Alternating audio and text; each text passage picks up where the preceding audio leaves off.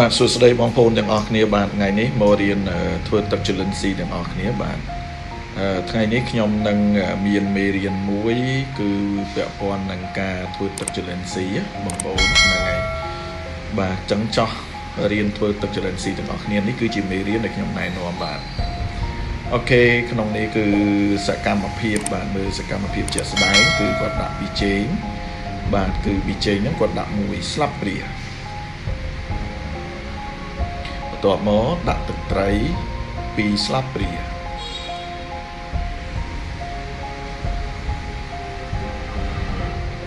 បន្ទាប់មកដាក់ពងទាចំនួន2គ្រាប់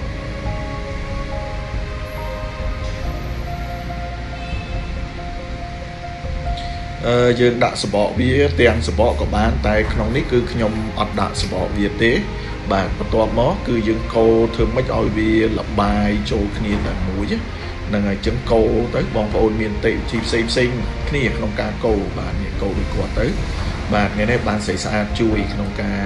កូរគាត់ជួយធ្វើផលិតពាក់ព័ន្ធនឹងជលិនស៊ីដើម្បីឲ្យបងប្អូនទាំងអស់គ្នាទស្សនាដើម្បីយក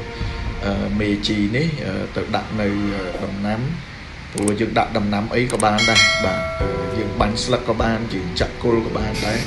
ដីដែលអត់មានជីជាតិធ្វើដីឲ្យមានជីជាតិដាក់ឲ្យមន់ផឹកក៏បានអីក៏បានដែរបាទអញ្ចឹងអត្ថប្រយោជន៍របស់ទឹកមេជីចលិនស៊ីគឺមានអត្ថប្រយោជន៍ច្រើនណាស់បងប្អូនហ្នឹងហើយអញ្ចឹងគាត់ចាប់ផ្ដើមយកកដុងដែលយើងបានហាលថ្ងៃចំនួន3ថ្ងៃបាទដើម្បីយកមកដាក់ចូលនេះ ដាក់ឲ្យមួយនិយាយទៅយើងដាក់បានកាន់តែច្រើនកាន់តែល្អមានន័យថាពងមន់មេឃអឺ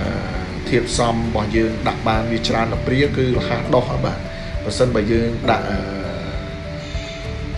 ធៀបសំរបស់យើងតិចពេកអញ្ចឹងការដោះរបស់វាក៏វាអត់សូវលូតលាស់លឿនដែរបន្ទាប់មកយើងក្លុកវាធ្វើមិនឲ្យវាលបាយចូលទៅមួយទៅបាទនេះឃើញទេចាប់ផ្ដើមដុំពណ៌ហើយបាទអូខេ ឥឡូវចាប់ផ្ដើមហើយក្លុកមួយទៀតបាទអញ្ចឹងបងប្អូនធ្វើតាមមេរៀនហ្នឹងទៅនឹងដោះហើយបាទនឹងកើតហើយកើតជាមេជីបាទហើយខ្ញុំក៏មានមេជីសម្រាប់ត្រៀមដែរនេះគឺមេជីដែលខ្ញុំធ្វើដោយខ្លួនឯងអញ្ចឹងខ្ញុំលាយដើម្បីលះបានប្រើចំនួន តែ10ថ្ងៃ5 10ថ្ងៃអីយើងអាចយកមកប្រើបានអាស្រ័យទៅលើថ្ងៃទៀតបើសិនបើថ្ងៃល្អ5 10ថ្ងៃបើ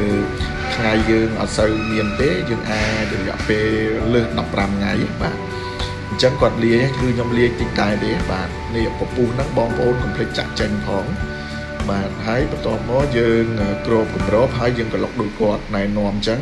អញ្ចឹងឃើញទេបងប្អូននេះចាប់ផ្ដើមដោះបដាបដាអី នៅពេលដែលយើងលាយមេអញ្ចឹងការលាយមេរបស់យើងគឺ100យើងដោះទាំង100តែបើសិនបើយើងអត់លាយមេទេអឺយើងអាចអ្នកខ្លះធ្វើទៅដោះអ្នកខ្លះធ្វើអត់ដោះក៏បានសាកសួរខ្ញុំហើយឲ្យខ្ញុំធ្វើមេរៀននឹងមួយទៀតអញ្ចឹងក៏ខ្ញុំបានធ្វើមេរៀនហើយពាក់ព័ន្ធនឹងទឹកបងប្អូនយកទឹកអីក៏បានដែរបាទបើបានទឹកស្រះទឹកអីក៏ល្អដែរអ្វីដែលខ្ញុំប្រើគឺយើងទឹកទឹកស្អាត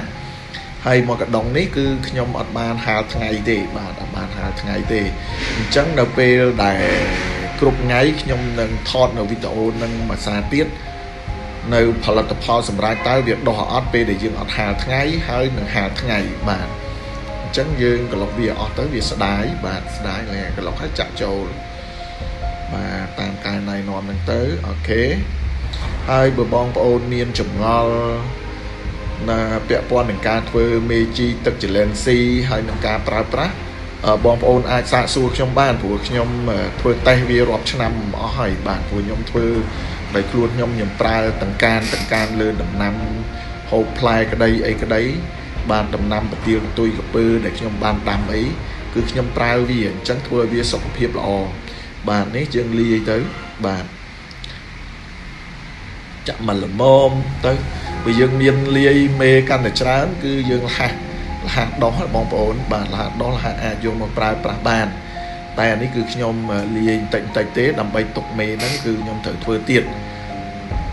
ហើយបងប្អូនចង់សាកសួរនៅព័ត៌មានផ្សេងផ្សេងបងប្អូនអាចឆានសាកសួរបានខ្ញុំនឹងឆ្លើយនៅរាល់ព័ត៌មានទាំងអស់ដែលបងប្អូនសាកសួរហើយបើត្រូវការមេជីដើម្បីយកទៅប្រើប្រាស់ដើម្បីផលិតអាចតាក់ទងខ្ញុំបានបាទ ហើយបងប្អូនទាំងអស់កុំភ្លេច share នៅវីដេអូនេះមួយផងបាទកុំភ្លេចដើម្បីទទួលបាននៅវីដេអូថ្មីថ្មីដែលខ្ញុំផលិតជូនដើម្បីជាមេរៀនដល់បងប្អូនទាំងអស់គ្នាបាទអរគុណជម្រាបលាបាយបាយកុំភ្លេច share និង subscribe ផងបាទបាយបាយ